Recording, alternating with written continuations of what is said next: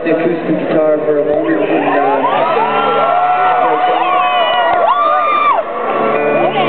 uh, we sort of just started doing this song like this uh, on this tour, and uh, it's kind of cool. Uh, a lot of nights on this tour we have been playing for for a lot of people who have never come to a Yellowcard show before, and I feel like right now the next three or four minutes we really get to hang out with each other and get to be friends, you know. So I really enjoy playing this song this way for you guys. So, uh, we put out a record a few years ago. It's called Ocean Avenue.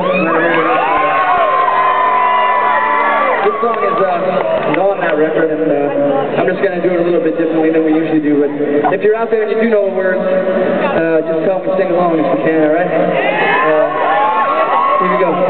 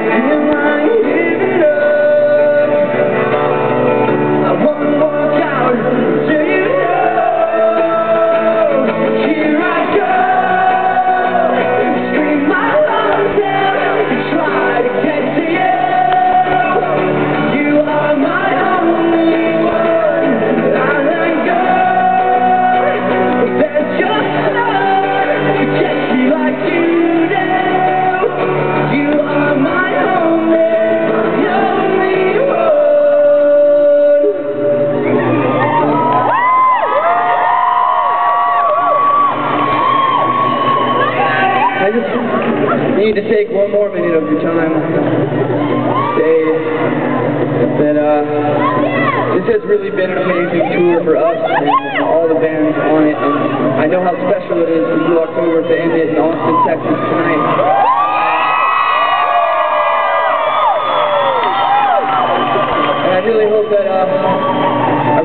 Guys have a good time with them because they work hard up here every night to give you guys the best show they can, and I know that. And uh, and uh, we've learned a lot from them being out here on the road us. So I hope you guys have a good time with us tonight. And thank you to everyone in Blue October and all the crews of all the bands and Shiny Toy Guns and Lovedrug for being such good friends to us on this tour. We had a great time out here. And, uh, hope to see you guys again soon. And thank you all for being here tonight for the last show of the tour. We're having a good time out here.